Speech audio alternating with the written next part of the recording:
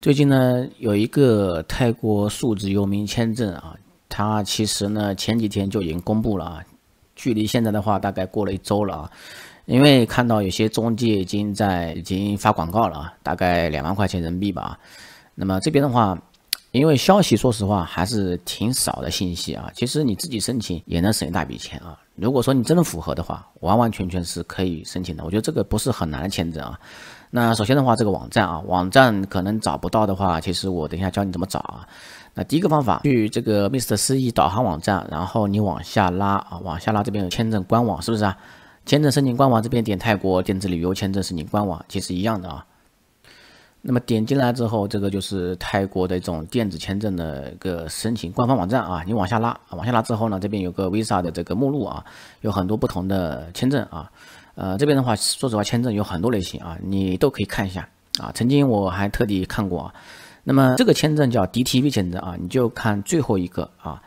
也叫目的地签证啊，目的地泰国签证啊。好，然后我们继续回到这里啊，然后点第一个、第二个、第三个啊。首先的话，它有三个分类啊，三个分类的话，首先我就讲第一个吧啊。第一个的话就是最传统的数字游民签证，这边写了啊，数字游牧民，然后远程工作者啊，外国专家或者说自由职业者啊。第二个的话是软实力活动相关的活动，比如说泰国的泰拳啊，泰国的这种医疗啊，或者说，但是这个东西我我不是很明白啊，我不太明白它到底在讲什么东西啊。其实可能是帮助做泰国这种文化宣传，或者说。嗯，其他医疗服服务的东西啊。第三个的话，其实很好理解啊，这个是关于你帮配偶跟二十周岁以下的孩子申请的这个 DTV 的，相当于你是主申请人，他们是副申请人啊，就是因为你的关系啊，所以说他们才能申请啊。那主要原因我们还是看这个第一个啊，那第一个的话，它这边呢有效期呢，它写的是五年啊，五年，然后呢这个次数的话是完完全全是多次往返签证啊。你随时可以去啊，随时可以回来。然后呢，这边的话啊，需要什么文件呢？啊，这个的话他没有列明啊。啊，其实呢，他的意思说呢，就是给你查看你的这个当地的领事馆或官方的大使馆网站啊，去查看，因为可能每个地方不要求不一样啊，这边特殊要求啊。主要的文件呢，就是一个第一个的话就是护照，这个就不用说了。第二个照片啊，六个月之内啊。第三个啊，证明你之前自己当前的居住地啊，这个。这个的话，其实就是地址证明嘛，啊，很好理解啊。其实你用信用卡账单就可以搞搞定啊。第四个啊，这个财务证明啊，财务证明要求不算很高啊。这个的话，只要是不少于五十万泰铢啊，大约就是十多万人民币吧啊，这个不算很多啊。嗯，你这个很容易证明，我感觉这个银行，比如说中信银行跟招商银行开这种资产证明是最容易的，而且是最方便的啊。第五个啊，是雇佣合同。因为它里面有个远程工作者嘛，啊，远程的工作者的话，肯定要雇佣合同啊，也算是你有工作在海外啊。其实我有个朋友吧，他是在某个银行上班的，他是做设计师的啊。他说他们已经是可以不去上班了啊。然后还有就是雇佣的证明文件啊，这个是证明信在你的国家，或者说啊，你这个专家的这个证明的这种东西啊，呃，证明你是数字游牧民啊。专业的这种产作品嘛啊，你要专业作品，那我觉得这种，比如说你是百万粉丝的博主啊，那这个也是一个非常好的证明啊。百万博士粉丝博主是很容易变现啊，嗯，但是你如果说你像一万粉丝的话，我觉得这个有点难啊。那还远程工作者啊，或者说这个外国专家啊，或者说这个呃自由职业者啊，自由职业者怎么理解呢？其实有很多自由职业的平台啊。我之前也讲过啊，其实自由职业平台的话，上面你接单的话，它是会显示数量的啊，显示你这个月获得多少收入，上个月投标中多少标。你看国内有一个自由职业者平台叫猪八戒啊，其实也是非常好的啊。其实但是大家小心点啊，上面也有很多这种那个坑的地方啊。但是跟猪八戒没关系啊，其实是用户啊，其实人家把你把你骗离到猪八戒以外的平台去交易啊。我自己啊觉得猪八戒平台还是可以的，但是呢。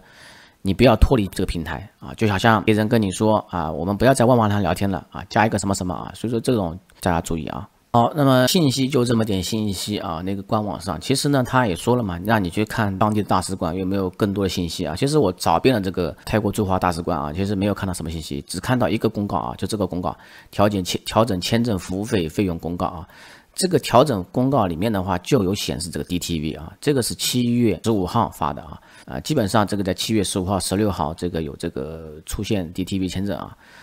费用啊是人民币两千三人民币啊。那么下面的话有一个公告啊，这公告里面我们看一下备注啊，所有签证啊申请必须通过这个网站啊。那网站说让你咨询这个大使馆啊，然后结果他说让你去这边去申请啊。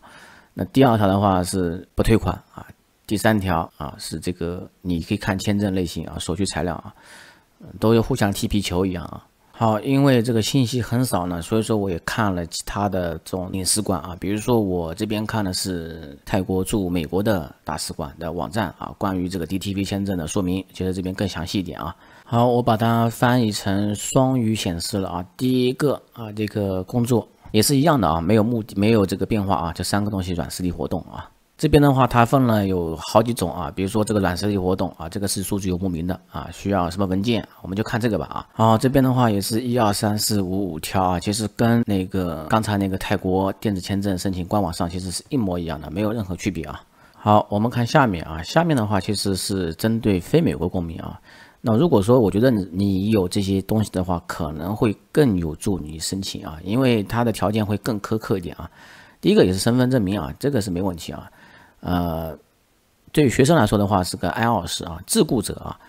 请于营业执照或营业登记上注明申请人的姓名啊。其实这个自雇者呢，说白了就是有些人吧，可能他是做亚马逊的啊，跨境电商或者之类的啊，这种的话其实呃也适合啊，所以说呢，这个也是可以。OK，由于这个信息比较少啊，所以说我找了一些比较专业的网站啊，看一下啊。第一个的话，比如说你去泰国啊。你可以一次性待多久呢？其实这边显示啊，是每次入境在泰国可以停留长达一百八十天啊，相当于半年。但是呢，有一点要注意一点，就是按照税务居民定义的话，如果说你待超过半年的话，其实你的税很有可能被泰国收走啊。泰国你在泰国可能有纳税义务啊，这一点要注意啊。我不知道中国跟泰国有没有税务协定啊？如果说有税务协定的话，还好一些，你去看税务协定。那么关于这个 DTV 签证有哪些要求呢？啊，这边要求差不多啊，其实就是雇佣合同，还有就业证书啊，其实都一样啊，都差不多。呃，还有这个赞助信啊，其实你这个五五十万泰铢啊，赞助信也可以作为证据啊。OK，还有这个一百八十天的问题啊，其实每一次旅行确实可以一百八十天啊，这边可以写明了，进行从七月十五日开始啊，这个是美国驻泰国的使领馆啊发出来的这个消息。好，另外最后一条消息吧，啊，其实这个有直接翻译好了啊，这个也是印度的啊，一个专门做泰国签证的一个中介的网站。那么他这边的话，其实也是一些消息，比如说这个消息很重要，就是那个啊，就是说他这个五十万泰铢啊，当地平衡要求，这个平衡其实你可以翻译成那个余额，然后很有可能你这个申请人啊，可能必须啊开设一个泰国银行账户，把这个五十万存到泰国去。啊，来证明你有五十万啊，我觉得这个也很有可能啊，但是不一定啊。但是我觉得这个方式的话，肯定是比较好一些的啊。你这个财务证明啊，因为说实话，这个签证啊，其实就是让你去花钱的啊。你而而且你这个收入来源是泰国以外的地方啊，数字名称都这样的啊，都是都是说你这个人在在我们当地花钱租房、旅游啊，这个租车啊都一样。但是你赚钱，这样不能在我们这上班，也不能在我们这做生意啊。就是只能从海外赚取。